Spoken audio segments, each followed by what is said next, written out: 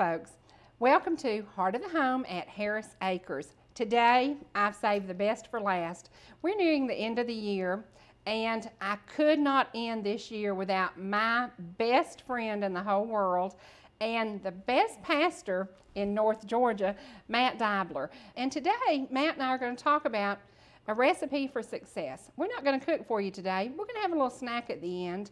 We're going to talk a little bit about my favorite recipe this year. But Matt and I are just going to talk about what it takes to be successful in today's world. And in today's world, it takes what to be successful? Well, it takes a lot of different things, but the world's philosophy of success is one thing, but the Bible says in Joshua 1 8, this book of the law shall not depart out of your mouth, but thou shalt meditate therein day and night. For in it, when you do these things, the Bible goes on to say, then will you find good success. Then you, you right. will make your way prosperous. That's success right. comes from the Word of God and, and your life being focused on the Word of God. Absolutely, right. absolutely, and and we have seen great success with you this year. I have not forgotten. Wonderful. Number one song of the year. You sing lead on that song, and nobody, nobody could ever deliver that message the way you do. Well, it's an honor. I, I, I feel just like one of the instruments, and it, uh, the writer of the song is such a precious man. Right. Lance Carpenter and uh, Ricky Atkinson helped him with it, but Lance Carpenter wrote the song, and he's just a precious man. And then that gets delivered to us, and then we pray about it, and God let us sing it, and mm -hmm. then mm-hmm. it's just an honor to be able to sing the song. It's all about the message in the song, not the person Absolutely. that's carrying that message, right? And and that's something you know. Um, Rita Pearson was on, and we talked about the fact that I don't want to be entertained when I go to a gospel singing, right. and I get annoyed by entertainers. I'm there to hear a message, and and and one of the songs y'all are doing, besides "I Have Not Forgotten," "My Lord's Been Walking." Yeah. I'd never heard that, and it's a '60s song. Yeah. What an awesome message! Yeah. And I said the message is what it's all about. And and when you you know, you know I'm a little bit partial, and I do think that you are you are an awesome you're an awesome preacher because you know the Bible, you believe the Bible, and you live the Bible. And that's what it's all about. Well, that's what it's all about. It's all about living out what you're singing about, living out what you're preaching exactly. about. That's exactly. Right. And uh, there's so many people out there that are looking at gospel music, and that's one of the things that I believe that has hurt gospel music is that people have entered it into for entertainment purposes. Right, it's not. And we're not here to entertain. We're trying to be a blessing. That's right. The key That's is. right. Um, you know, um, what is that song that Chris Smith does? Um, Did you tell someone about Jesus? Yeah. That's another song that delivers a message every day. Every and day. and you know, the recipe for success is be kind to people, be trustworthy, be honest, and be true to God. Right. Because you have to be. And if you want things to turn around in your life, look to the Lord because that's what it's all about. You know, I was in a deep, deep valley and, and so depressed. I'd lost my husband. I was mad at the whole world. Lost my husband and my mother. You stepped on stage and you sang Resurrection Ground. Right. Your brother wrote it. I sat there with 40 of my closest friends and I looked around and we were sobbing uncontrollably. All of us had had trauma that year. All of us had had sadness that year. But God lifted us from that. And, and we never looked back. We never looked back. And I said, a million times I have thought, God put me there. I didn't want to be there. Right. I didn't know you from Adam's house cat. And you have been such a blessing. Well, you've been a blessing to me because, too, around that same time, my mother had passed right. away. And right. uh, we had seen some tragedy before with uh, little Marie passing away at three right. years old. And that year alone, we had four close relatives pass away in a matter of four months. And so, uh, but that song came out of it. And that's the key again is the song, the message. What is God trying to do? When I go into a, a concert or when I'm going into pastor and preach a message, I try to think, you know, I have no idea what those people are hiding behind those smiles. Mm -hmm. Everybody right. puts on some kind of a smile, or everybody puts on some kind of a front to let people think that they're okay. Mm -hmm. um, but you know that in their heart there's a lot of pain, mm -hmm. and I don't know what those uh, those pains are, but I know the one who does, and He's the one that directs in the songs. And as we sing those songs, we trust in that, like in that situation, it becomes a blessing that not only lasts for two or three minutes of a song, but for a lifetime that Absolutely. in our situation brought on a lifetime relationship that uh, believe that God has used to be a blessing to others too because right. we're able to fellowship and also kind of get each other out of uh, down times. I mean, Right. because we're we, we're all here. We need each other, and Right. we all need the Lord. And, and that's what it's all about sharing the message Right. and sharing the good times, the bad times. You know, when my mom was diagnosed with cancer first and I lost her, and literally I thought, gosh, my husband's going to be okay because God won't do this to me twice. And I trusted God. Through the whole thing, I trusted Him. And the night that my husband left here, I still trusted God because I knew He did what was right. Exactly. And from that, six weeks later, I met you. And from then on, it was like I looked up and I didn't look back and I didn't look down. I looked up. And there were days, I mean, I would play Amazing Grace and cry uncontrollably. And it's still, I love the song and I love the message of that song. But I was really down and I'm never down anymore. And it's such a great feeling. It is such a positive, uplifting. And, and when you think, oh, you know, I'm having a bad day, no, it's a good and day. it could be worse. It could be know, worse. It could be worse. And the Bible talks about it. It rains on the just and the unjust. That simply means everybody has a hard time. That's right. Everybody has a That's rough right. time, and and it's just so. Uh, what I look at people in the world, and I'm not saying that I'm better than they are. I'm just saying there's people that walk this walk without the Lord, Exactly. and I look at them and I ask the question, well, how do you handle your hard times? Mm-hmm. What do you have, and who do you have to turn to? Because you're going to go through a death of a loved one. You're Oh, going to go through cancer with somebody. You're going to go through a job problem. But I have somebody to walk with me. I have right. the Lord, and He never leaves me nor That's forsakes me. And uh, He tells me in 1 Peter 5 7, casting all your care upon Him, for He careth for you. Now, there have been times, some of the situations I've faced, I wondered, does He really care? But the Bible says that He does. And I have faith in the Word of God to know that what He says is true. That's right. At my mother's funeral, um, mother didn't want preaching, but she wanted the 23rd Psalm. And one of my cousins who had had a terrible car wreck years ago, he was drinking and he wasn't living the way he should. He had a terrible car wreck. He can barely walk, he's on a cane. That boy is in church every Sunday now. And at my mother's funeral, he stood and recited the 23rd Psalm. His speech is a little slow, he had a little brain damage. The most awesome moment of my life because there was David who survived by God's grace, he survived. And there lay my mother who had gone on to a better place. And, and she wanted to share that special moment with David. So, you know, in life, if we look to the right man for the answers, we also find the right people to connect with. And one of the things we're going to talk about today are connecting with the right people, choosing the right people to do business with, choosing the right people to follow in music, like the Diplomats or the Inspirations or the Carolina Crossmen. Choose groups who are there to share a message with you. Right. So, guys, when we come back, Matt and I are going to continue talking and we're going to visit and we're going to do a recap of 2007. We're really looking forward to 2008 and we want you to come right back. We'll be here too. Hi, folks. Welcome back to Heart of the Home at Harris Acres. Today, my guest is Matt Dibler, the lead singer for The Inspirations. Matt and I are back now, and we're going to talk a little bit more about your music. Now, you have you ever written a song? I've written a few, you know, and the Inspirations recorded one of them back a few years ago entitled Jesus Knows What You're Going Through. Okay, And an interesting story behind that is in 1994 that I wrote the song, I had had some pretty major back problems and they put me down for complete bed rest. And I was in a parsonage at that time where I had pastored in Easley, South Carolina. And um, every Sunday and Wednesday I'd watch everybody go to church and I couldn't go because I was in complete bed rest. And, Mm-hmm. and I thought it was so discouraging, but the Lord came through with a song about Jesus knows what you're going through. And that's where that song came from. Wow. Interesting. well, well, who wrote Godly Family? Godly Family was written by a man named Ben. Um, I can't think of his last name, but anyway, um, it was actually a song sent into the Inspirations, Okay, and um, of course, it's more of a family song, so Mhm. it really didn't fit the Inspirations. But I, and at, anytime I find a song like that, I kind of put it back and and think, well, I'll listen to it some other time in case I ever do a solo or I do a family thing, and that's what we did. I love that song, and so we we took it to Danny Crawford. I don't know if you're familiar with him No. wonderful musician, and he did the music for us, and, and our family recorded that. It's a great song. well, I sponsor the Hometown Sing on WLJA on Sunday mornings. That is the most requested song. yeah. The most requested song. It is an awesome song, and I said, to know your family makes me love the song more because your family is a godly family. You have wonderful daughters. You have a wonderful wife. You're so blessed, and you couldn't do what you do without her. No, you couldn't uh, do what you do if your daughters weren't good girls. They're right. good girls. They don't give you any trouble. Sabrina plays the piano. Lindsay sings. Um, awesome kids. you You, said- have done a job. You said they don't give me any trouble. I missed something here.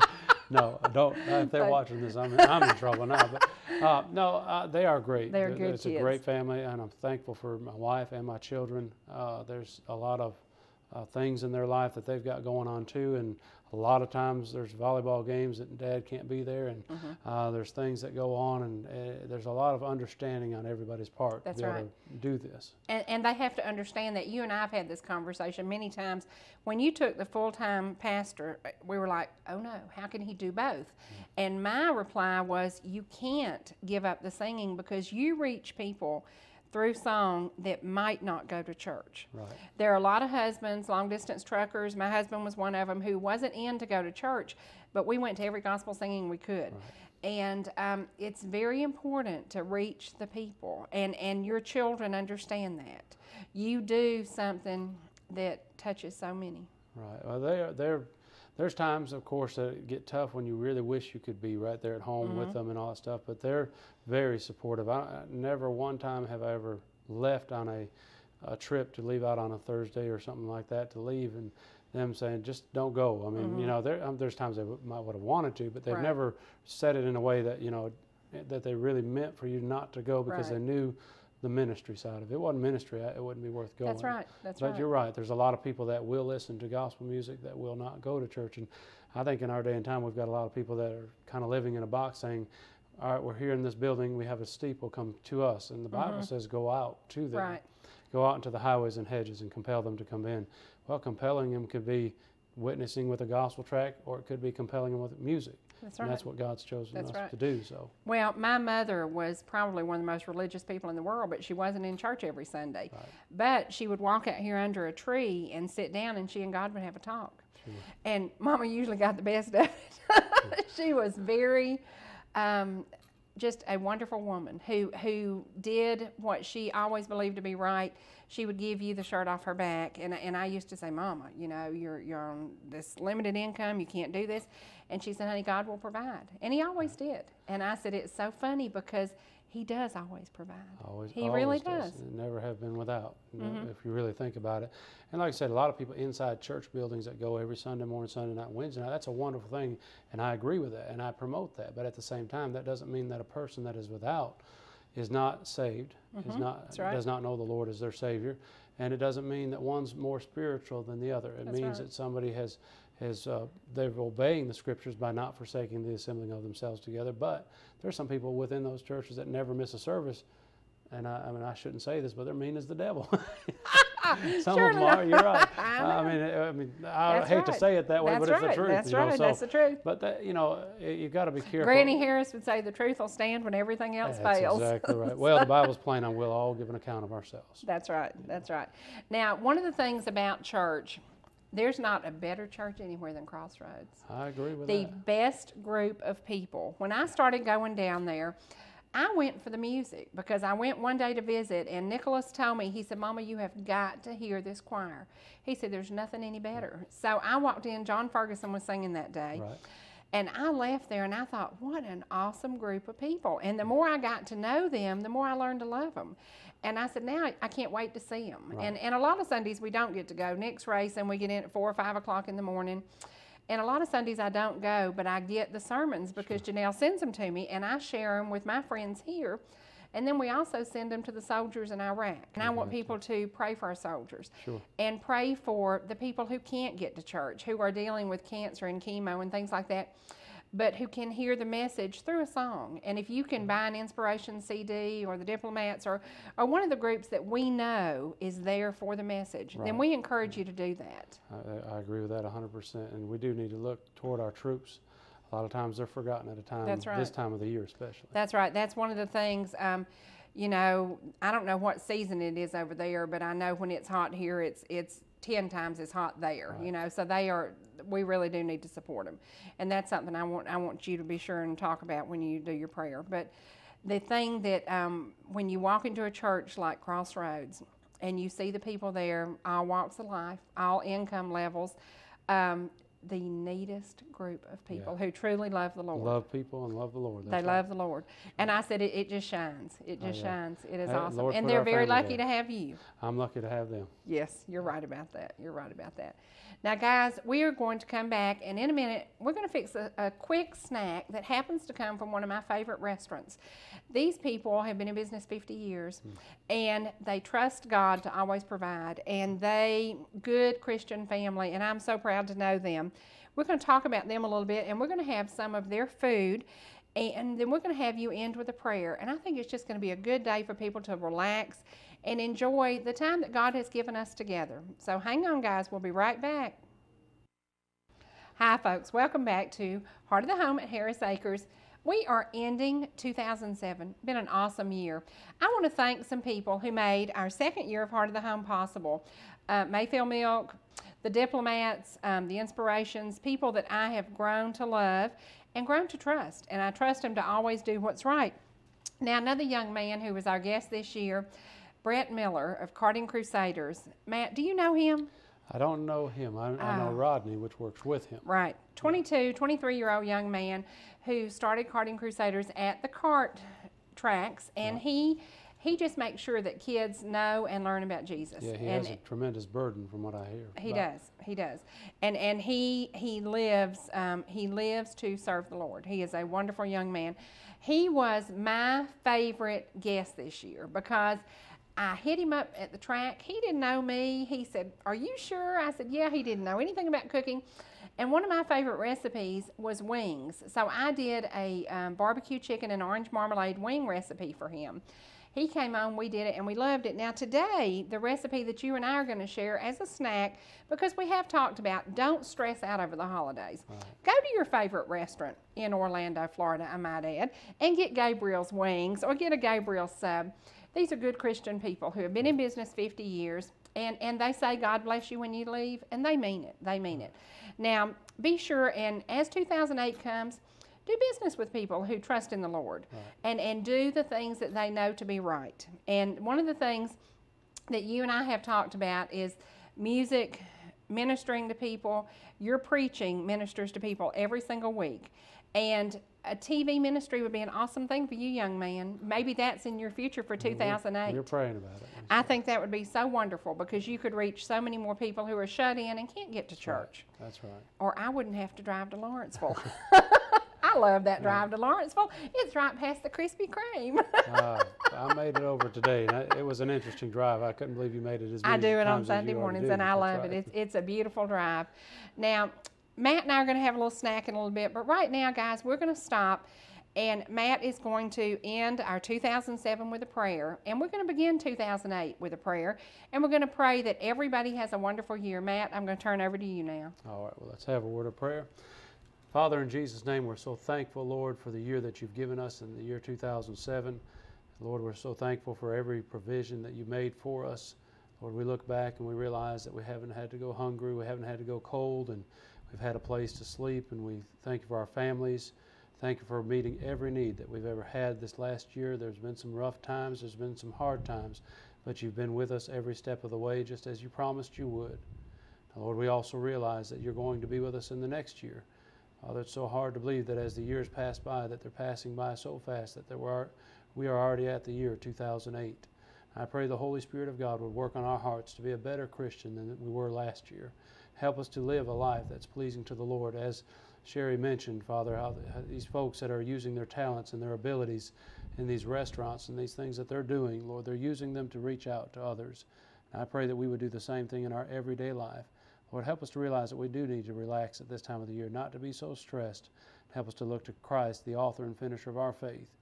Lord, I pray you'll bless this ministry, this uh, program, the heart of the home, that you might touch as it goes into many homes. I pray that folks would realize it's not about the food, it's uh, all about our Father. And Lord, I pray that you'd help this program to be a blessing to many. Lord, bless our church. Thank you for Crossroads Baptist Church and help us to glorify you in every ministry that we are involved in. And if there's one that's listening that does not know Christ, may they realize that He is the only way to heaven. We ask you these things in His name. Amen. Amen. Y'all, 2007 is ending. It's been a wonderful year. It's been a wonderful year. Friends, family, and blessings, and many blessings. And the many blessings come to us because we look to the Almighty Savior Jesus Christ. That's right. That's right. Same time, same channel. Mm-hmm. We always have good gospel music. Usually we have some recipes. To, today, no cooking.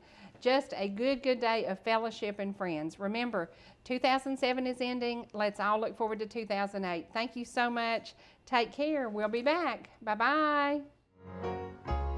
This is not the end, it's resurrection We gather together to say our goodbyes to our precious loved one. Oh, how our hearts ached inside. Then we went to the place where they lowered their body down. Some call it a grave, I call it resurrection ground. Resurrection ground, no more graves. We'll meet them in the air, no more parting there. With Jesus we'll be for all eternity. This is not the end,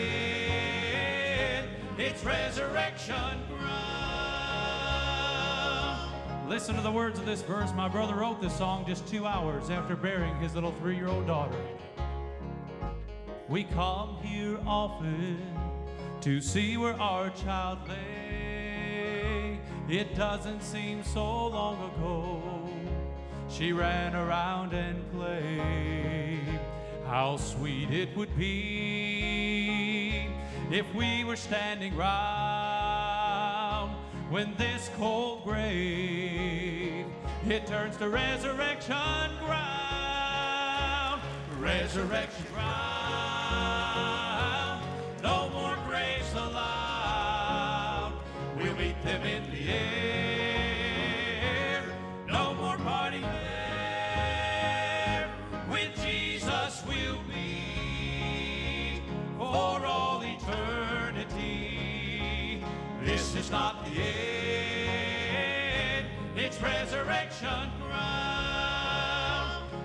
Resurrection ground.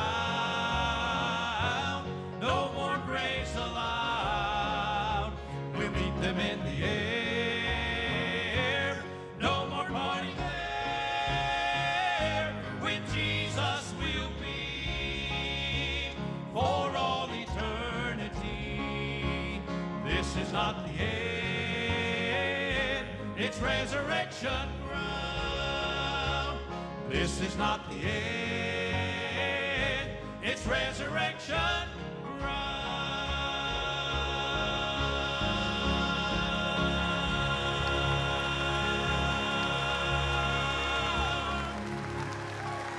We come here often to see where our child lay. It doesn't seem so long ago.